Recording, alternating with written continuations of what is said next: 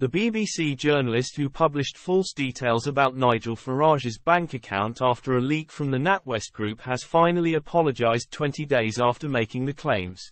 BBC business editor Simon Jack has finally apologised to Nigel Farage for publishing false information about his personal finances. Mr. Jack made the claims 20 days ago that the former Brexit Party leader turned GB News host had fallen below the wealth threshold for Coutts Bank which was why his account was being cancelled. It became clear that Mr. Jack had been briefed by someone from the NatWest Group which owns Coutts on the personal finances of Mr. Farage. However, it emerged from documents Mr. Farage forced the bank to hand over, that it was his political beliefs which had seen him stripped of an account by Coutts. In a statement on Twitter, Mr. Jack said, the information on which we based our reporting on Nigel Farage and his bank accounts came from a trusted and senior source. However the information turned out to be incomplete and inaccurate.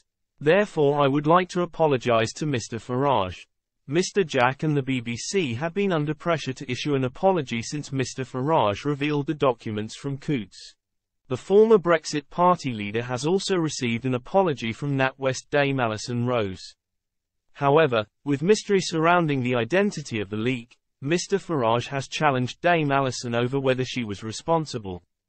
The night before Mr. Jack made the revelations he had been sitting next to the NatWest chief executive at a dinner.